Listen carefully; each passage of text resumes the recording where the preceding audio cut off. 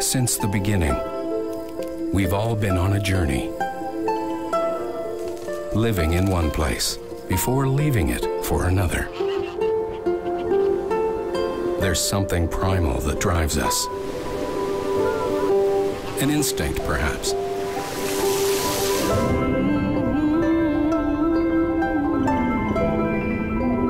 Nobody knows how long the journey will take.